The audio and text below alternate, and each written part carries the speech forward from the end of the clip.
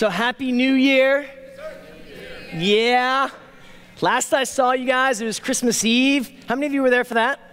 Okay, oh yeah, a couple of you. That was awesome. A big thank you to the team that made that possible. We had a uh, just a, an awesome team that was working uh, just really hard uh, to create that context, and so so we're just super thankful to that team. Can we give that team a round of applause that made Christmas Eve?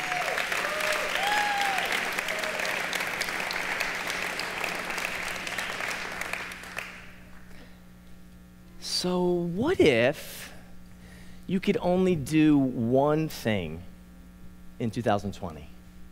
I mean, what if there was only like just one thing that you could do in 2029. So, so this is the time of year where making resolutions and um, making sort of commitments and hey, we're going to do this, we're going to do that. It's it's kind of popular, right? And and oftentimes we might make a few, and I don't know if that's to secure the fact that we're probably not going to do the first one. So if we aim for four, we'll hit maybe half of them, and and we'll we'll feel okay about ourselves or whatever the case might be, but.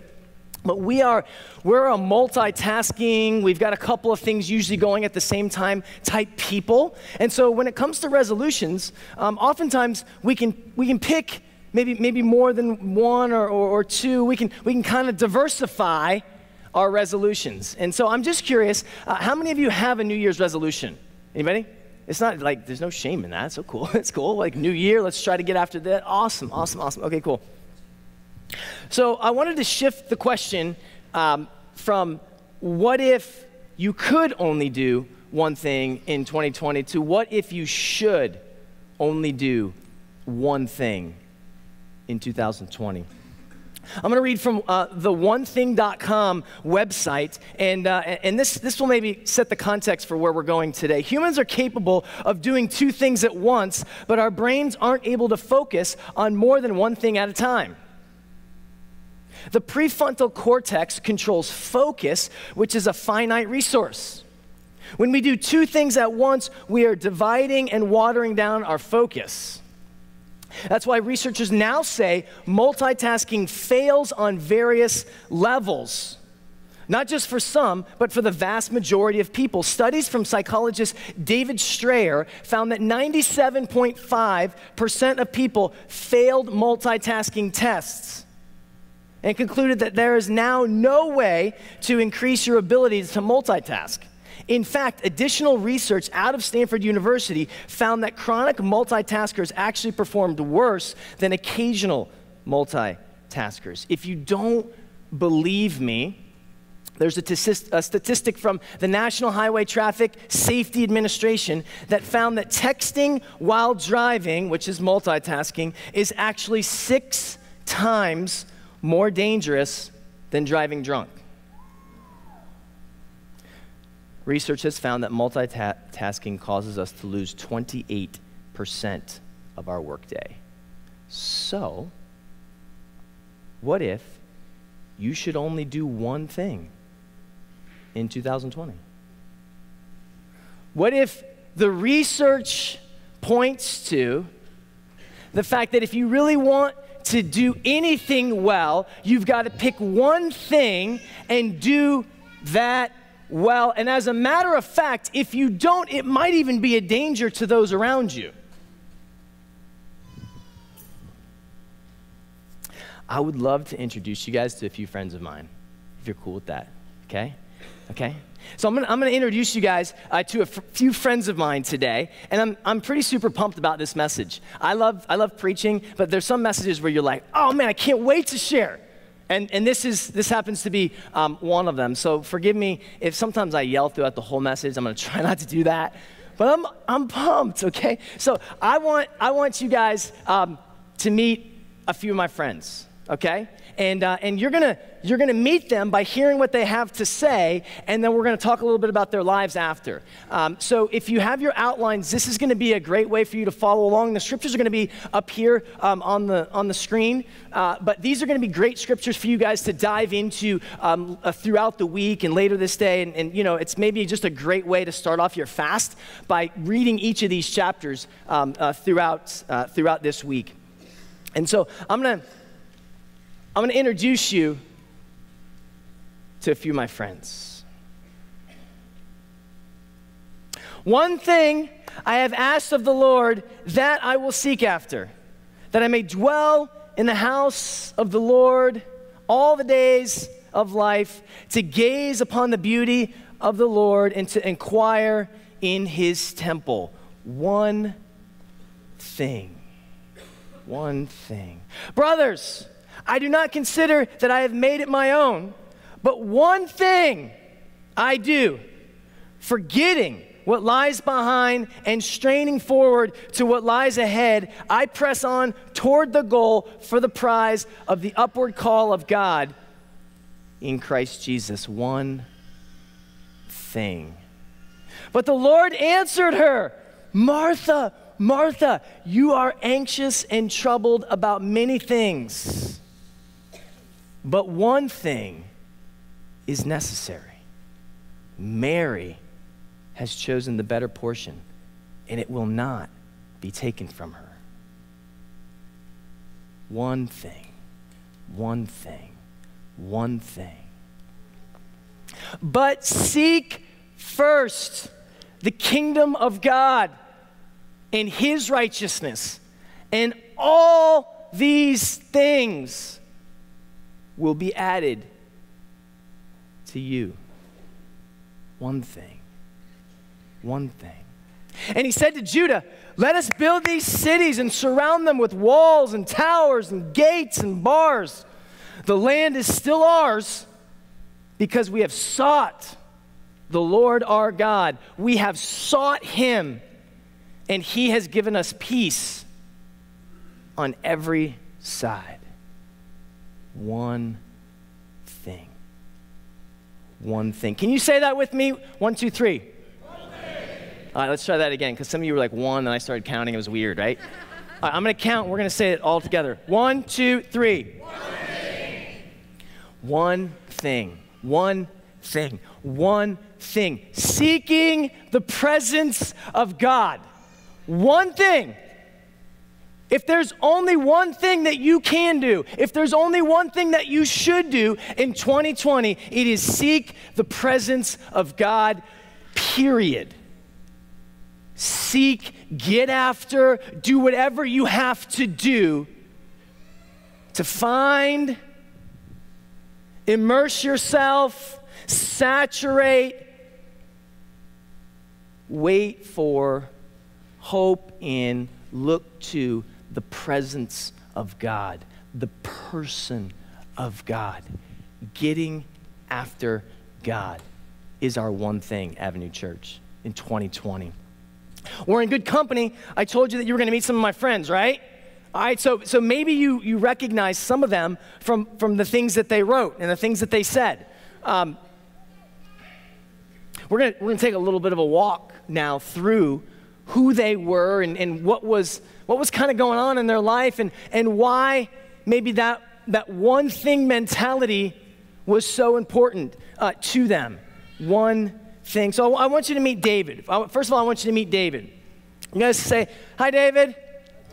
He's not here, and you're like, I'm not doing that, stupid. That's okay. If you don't want to play along, that's okay. But I love when you talk back, okay? So I'm, we're going to do this every time. You're going to meet different people, okay? And you just, if you'll entertain me with a hi, Mary, or, you know, that would be cool. And so, so David is the, is the first one that we're going to meet, and he's, he's definitely probably my, my best Old Testament friend. Now, I think it's important that you guys should make friends with the people in the Bible. I do. I heard somebody who was teaching me about like this is my friend here, and this is what I learned from his life.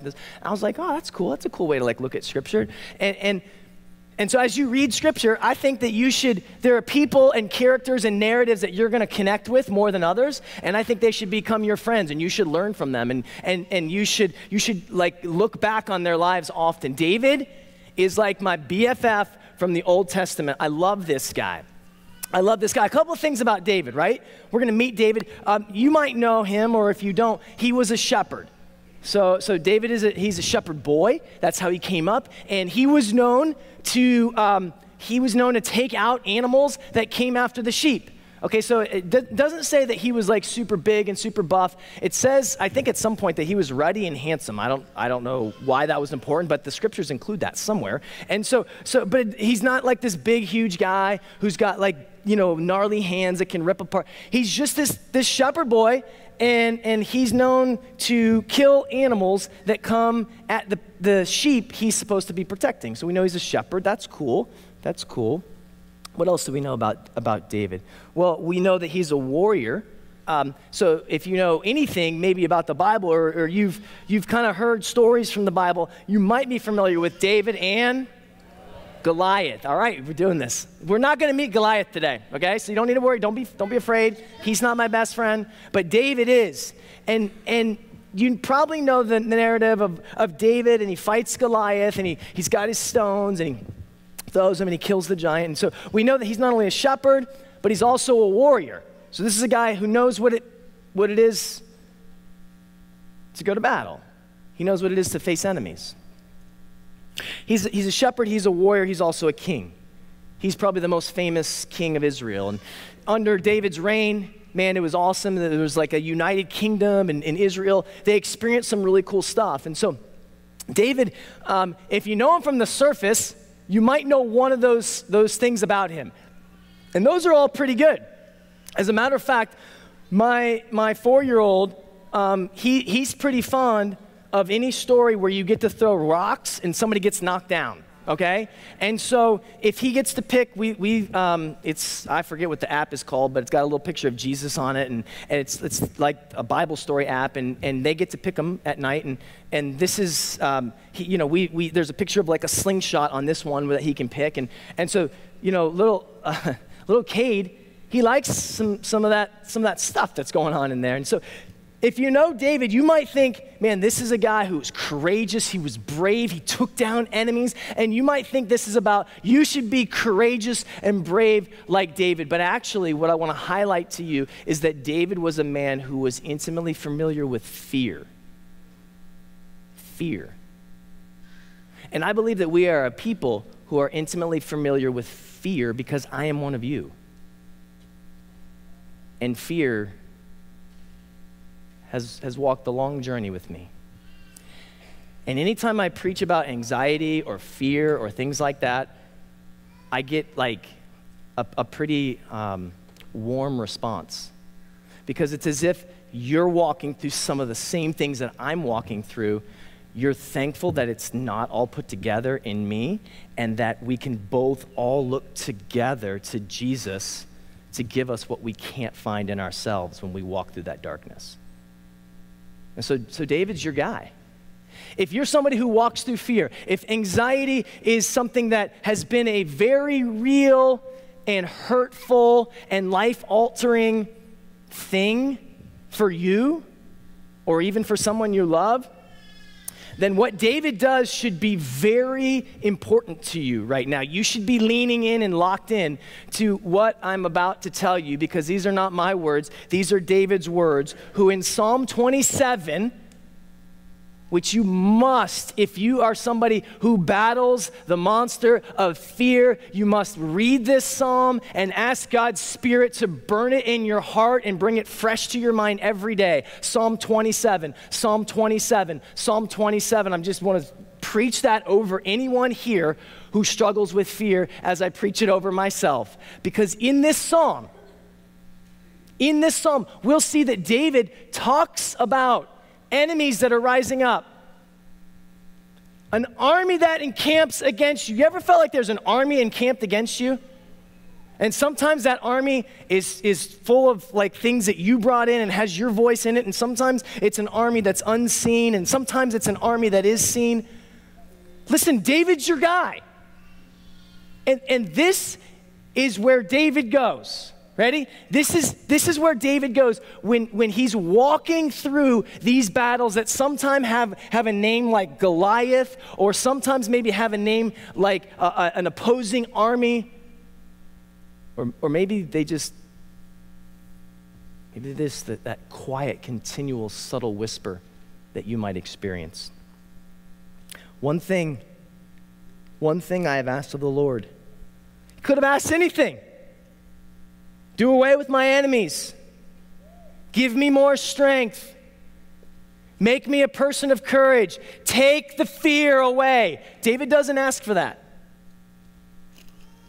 One thing I have asked of the Lord. What is it, David? What's your one thing, man? I'm all ears. That will I seek after, that I may dwell in the house of the Lord all the days of life, to gaze upon the beauty of the Lord and to inquire in his temple. What David asked for and desired more than anything was the presence of God. I'm asking for one thing, just that I could be near you, that I might be in proximity with you. You've got to make yourself known to me, God, in this moment. God, where are you? He's, this is not an escapist prayer. David's not running from his Goliath, he's standing He's battling. He's moving forward. He's facing his fear, but not without his one thing, which is the presence of God. Later in the psalm, he and God seem to have this dialogue where it's, where it's like, you know, uh, well, let me just read it rather than from my memory. It says this um, Hear, O Lord, when I cry aloud, verse 7, be gracious to me and answer me. You have said, Seek my face. My heart says to you, Your face do I seek. Hide not your face from me. Turn not your servant away in anger, O you who have been my help. Cast me not off, forsake me not, O God of my salvation. David has this, like, journey. Even in, even in the psalm, it seems like. And his confidence and his hope and his courage all come from one thing the presence of God. It was like David knew he had to do whatever he needed to do to get with, be with, have intimacy with his God. That if he could just seek after his God, then everything else would be okay. I'd like to meet Paul. Paul.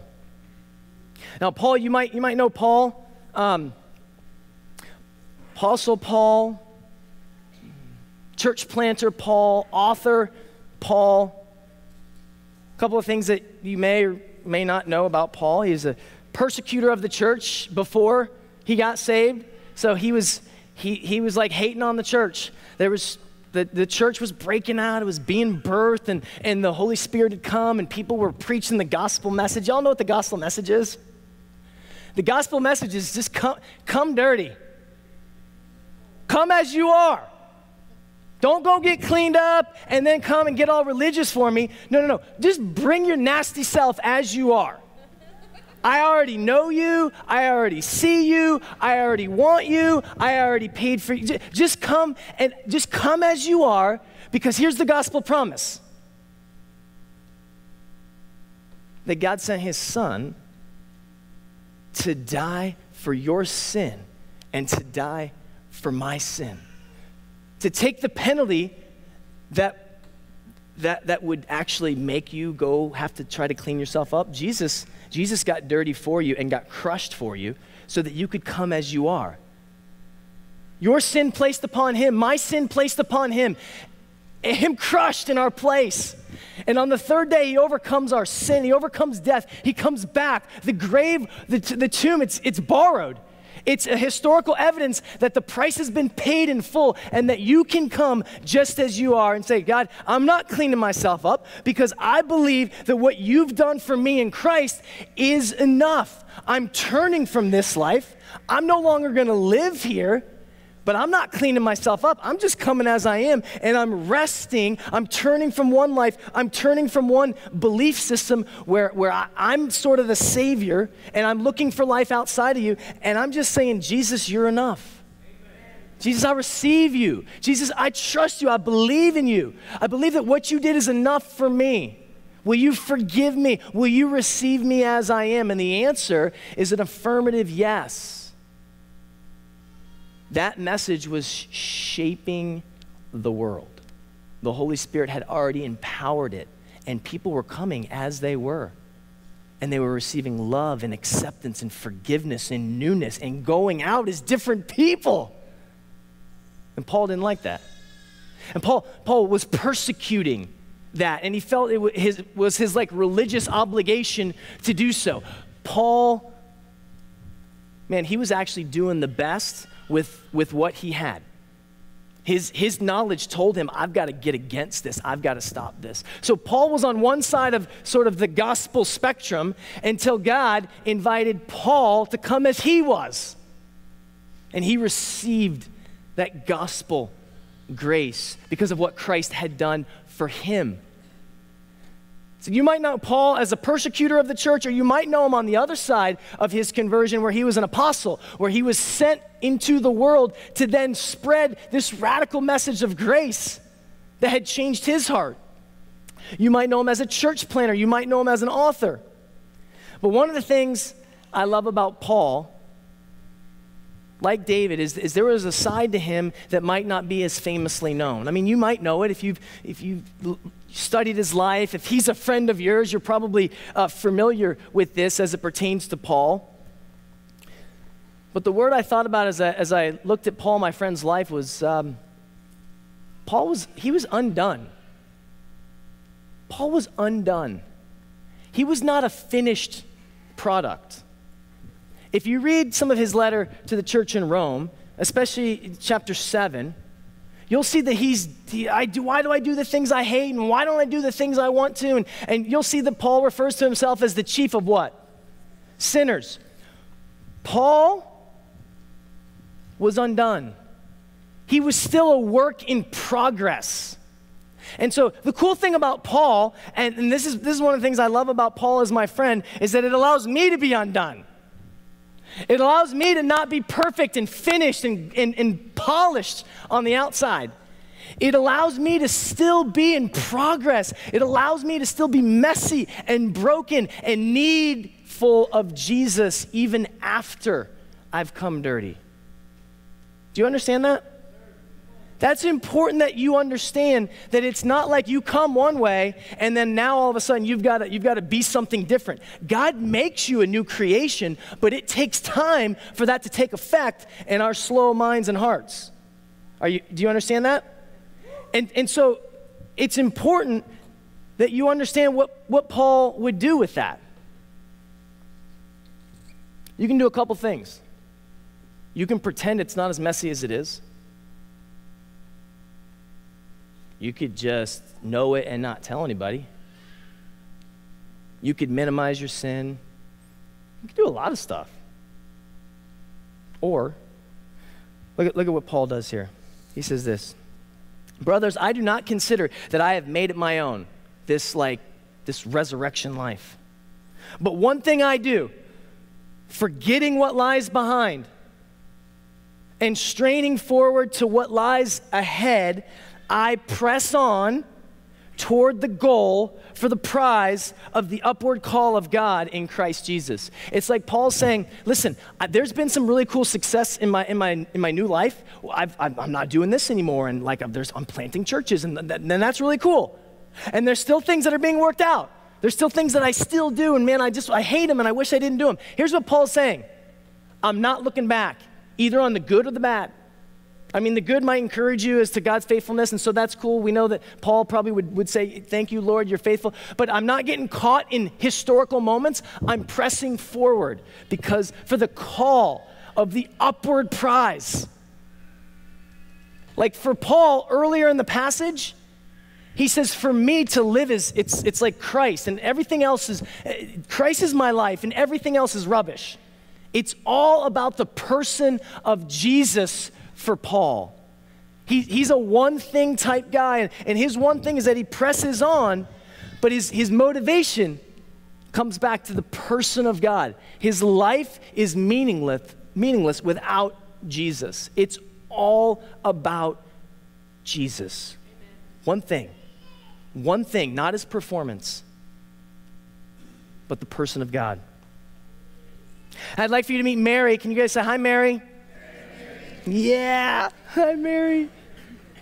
That's awesome. We didn't do that with Paul, whatever. I got to keep going, but.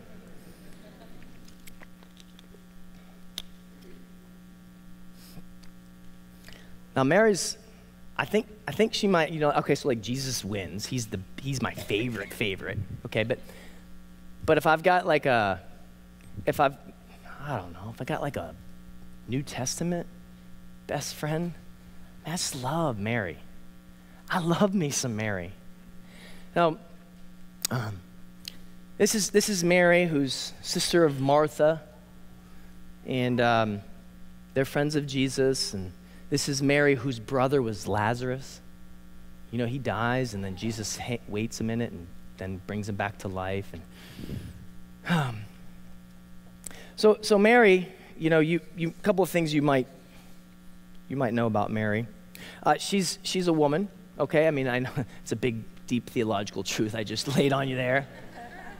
Wow, this dude's such an insightful teacher. I'm so glad I'm Kate in the Avenue. No, um, but it's kind, it's kind of important because in the first century Jewish setting, being a woman wasn't what it is today. It carried with it different things. Um, and and there, was, there was a real sense where, like, um, rights and significance and um, value was, was not what it, what it is today. And so being a woman then was a different context. That, that's, that's Mary's context. Uh, she was a friend. She was a friend of Jesus. So, so Jesus ministered to many people and he, and he, you know, he hung out with a ton of people, but, but he, had, he had some friends, and, and Mary happened to be one of his friends, and she was a worshiper. She was one who worshiped Jesus. And um, I find it interesting in, in Luke 10, the passage that we read from, uh, Jesus is coming over and they're getting ready. And, and so um, when Jesus is coming over to your house, you probably would be consumed with many things. Um, what, what, in my house, we have white tile and four kids. That's horrible. That's just a horrible combination, okay? I don't know what color the grout was supposed to be or was at some point, but it's probably not it anymore. So it's like, do you clean it? Because then you'd have to clean all the grout or what? Like, you just leave it that, like, pale, whatever. Um, you know, it's, it's like, there's, there's probably a ton of stuff that would be racing around in your mind if Jesus were coming over. Many things. And so when Jesus then gets there, depending on your personality, many things would probably continue to run around in your mind food, environment, atmosphere. Are we going to have some music in the background? I mean, certainly it would be easy, and you would even think hospitable to be thinking about many good things when Jesus was in your presence, even for him. Some of the things that I was thinking about when it pertained to Mary was um, certainly the fact that she's, un, she's, she's misunderstood.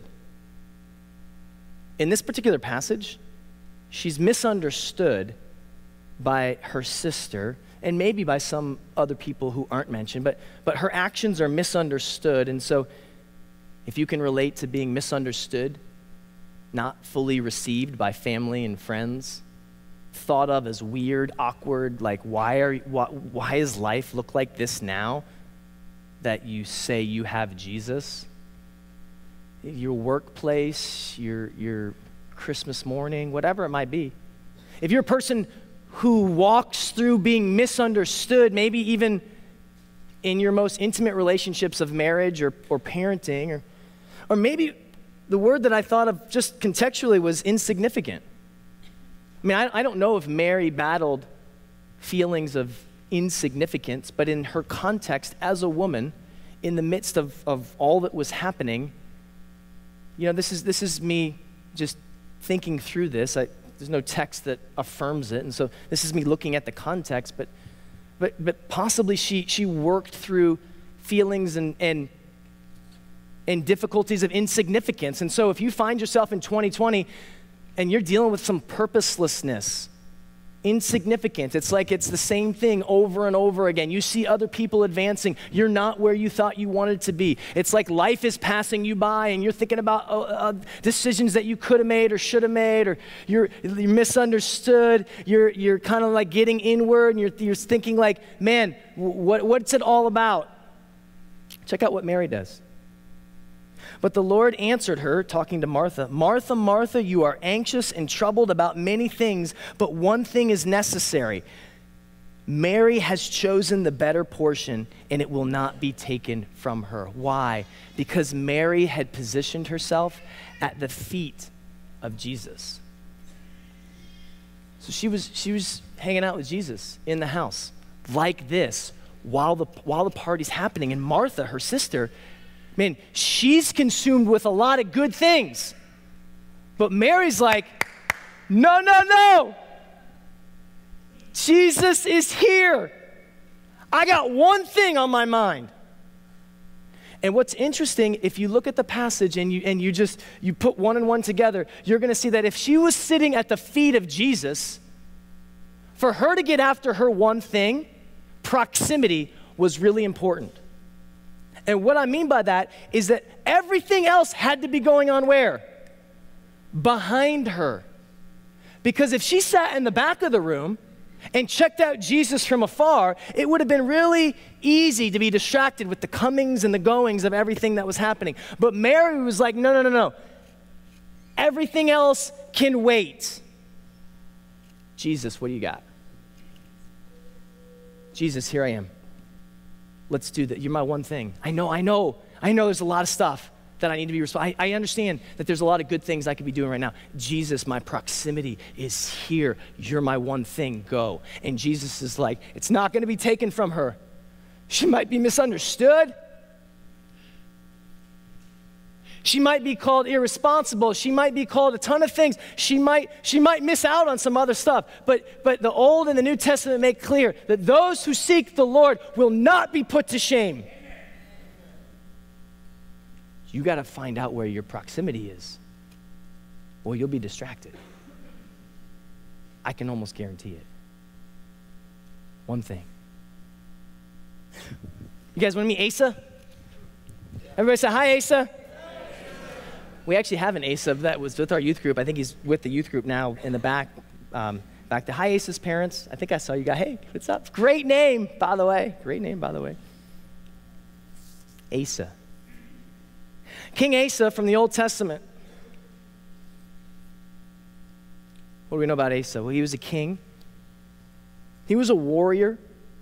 And in Second Chronicles, we can see the story where he was also a reformer. He was somebody who wanted to um, bring the, the nation of, um, uh, I want to say Judah. you can correct me if it was Israel, but I believe the nations had already split and he was the king of Judah. He was trying to bring, ba- bring it back to God.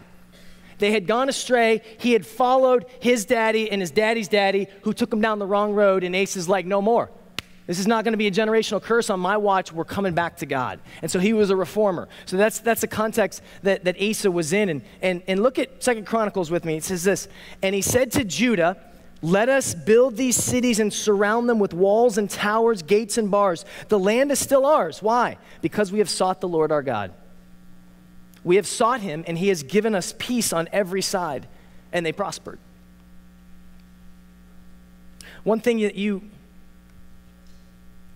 I feel like you need to just get from, from Asa, and it didn't, it didn't actually end super awesome for Asa, which is interesting about seeking the Lord. Just because you seek the Lord once or in January doesn't mean that is credited through February. Like this is a, this is a lifestyle. This is not 21 days.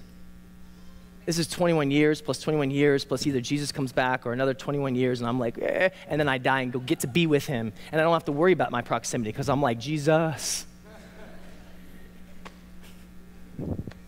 there you are. It was worth it. I knew it. I knew it. So Asa, here's, here's the one thing that I think you need to know about Asa is this. Um, potentially overwhelmed. Potentially somebody who walked through feelings of being like um, overwhelmed with the call of bringing a whole nation back to God when he had stepped into generations of like idol worship and, and, and people moving away from God. And what does Asa do? What's, what's his one thing? He knows that his success is dependent upon him seeking God, upon him seeking God.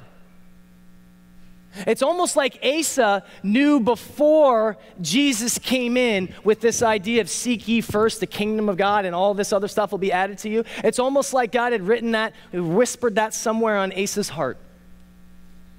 And he knew historically that was true because he saw it work out in his life. One thing. And so our our final person that we meet is Jesus. Hmm? You guys want to say hi, Jesus? That's not weird, right? That's not sacrilegious. Some of them like, oh man, is that weird? No. Hi, Jesus. What's up, Jesus?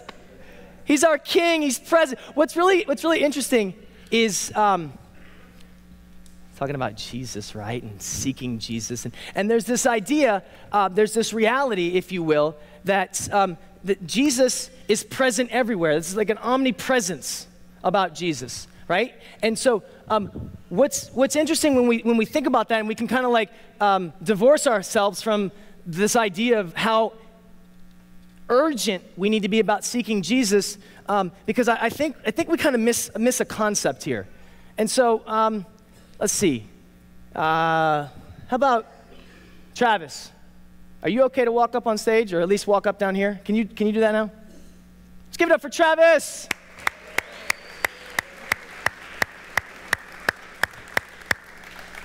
I have no flowers for Travis. But I'm just going to ask you to, to sit right here so you don't tower over me the whole time. kind of part of that. Travis is a good, dear friend of mine. Travis has been here the whole time. He's been here the whole time. But now, check this out. Because I called him forward, because I invited him in, because I sought his presence, now Travis is right here. Now I can touch Travis. Now I can feel Travis. Now the presence of Travis matters. As a matter of fact, Travis is on our security team. So there. How you, how you like that? What?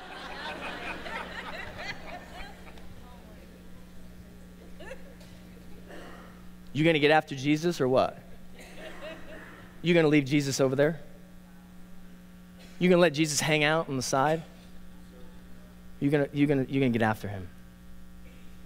Well, if you want to lead, if you want to lead some sort of like mediocre, sort of like, okay, I, I get I'm forgiven, but I'm just going to kind of go on with my life. Well, then Jesus can hang out over there, I guess. I mean, I don't know how that theology works out, but if you want to do something of significance, if you want to do something that requires courage and bravery, if you want to see the kingdom of God come in a really beautiful and special and dynamic way, then you're going to need Jesus close because you're going to get scared and you're going to think this is on you when really you can be living like, what?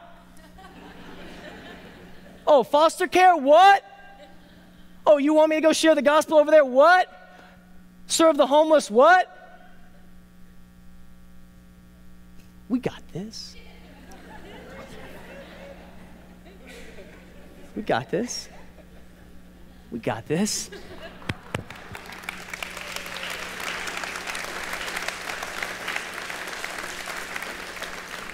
Are you living like this with Jesus? Like up close? Like moment by moment? Please don't go. you know, that's, that's theological too, so please make the connection. Travis, you still here? Travis, you still love me? Travis, you love me if I go over a little bit right now? Okay, I'm gonna, I'm gonna hurry. Travis, you love me if my performance wasn't awesome today?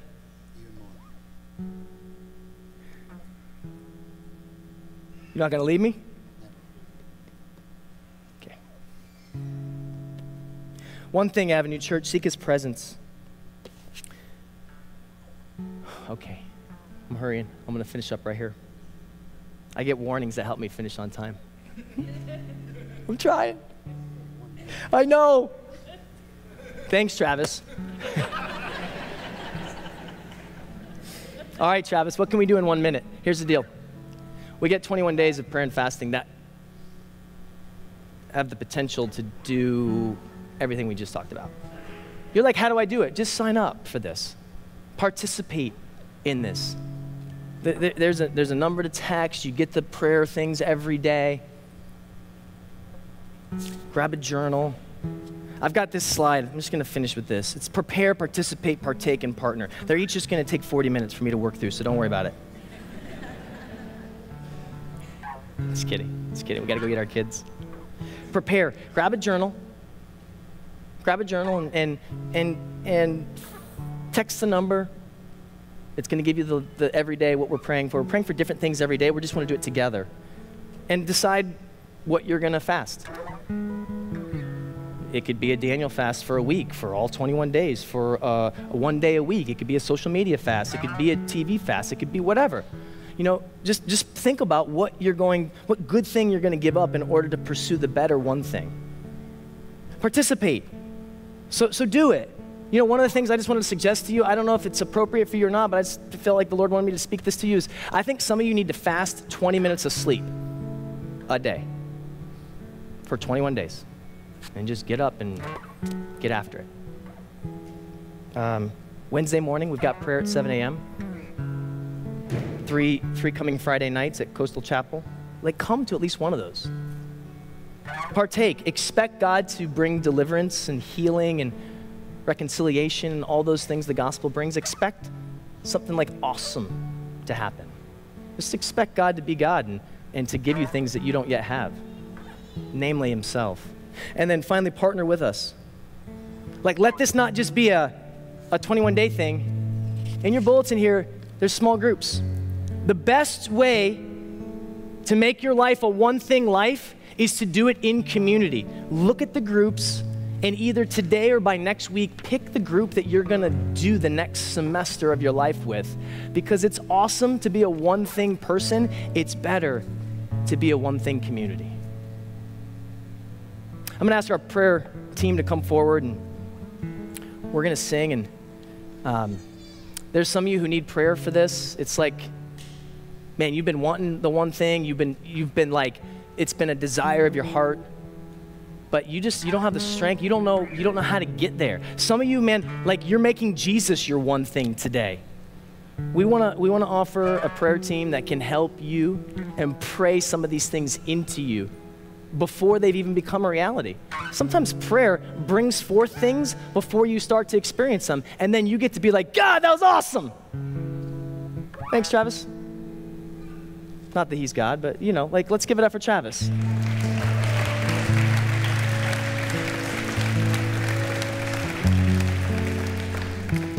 So we're going to sing Canvas in the Clay. It's 11:38. We're usually done by 11:45. Is that right? Is that when we normally end? So, just if we happen to go a little over, and just go grab your kids at 45. But we've got some time to sing and take that first step of getting after the one thing, person of God. Get after Him now, because He's He's a God who loves to get after you. And I'm believing that He's already doing that for many of us. Let's worship that God and sing now.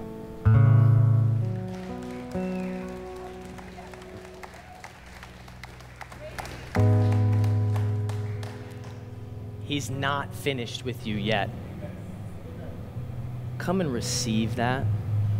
Come and get that. Make the person and presence of God your one thing.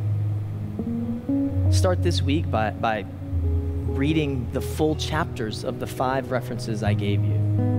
We've got a reading plan. Add that in there. I mean, you've got 20 minutes now that you've just dedicated and fasted of sleep to the Lord, right? Join us in prayer and fasting. And let's watch what happens when we become a people of one thing. Now, may the Lord bless you. May the Lord keep you. May the Lord make his face to shine upon you like he did David.